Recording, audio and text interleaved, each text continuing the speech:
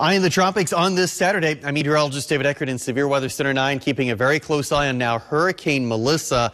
Rapid intensification basically underway tonight. Winds now 90 miles an hour. It's category one hurricane, but that's going to change pretty quickly, it looks like.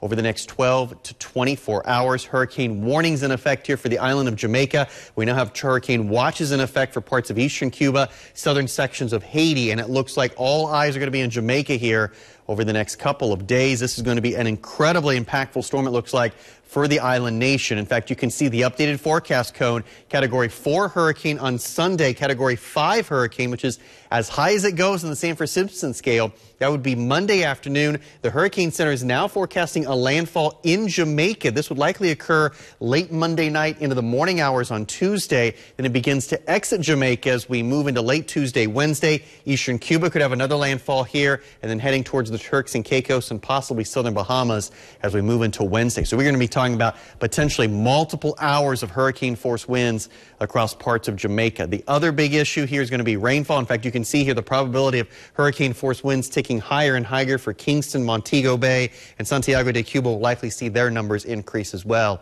over the next couple of days. Rainfall totals are going to be historic in nature, especially here in eastern Cuba. Widespread 20 to 30 inch amounts, and some areas will likely end up with 40 inches of rain before it's all said and done, particularly in Jamaica. So here's the very latest on Hurricane Melissa. Again, rapid intensification now underway. We could have a Category 5 storm on our hands moving into Monday, and extreme impacts becoming more and more likely, unfortunately, for the island of Jamaica.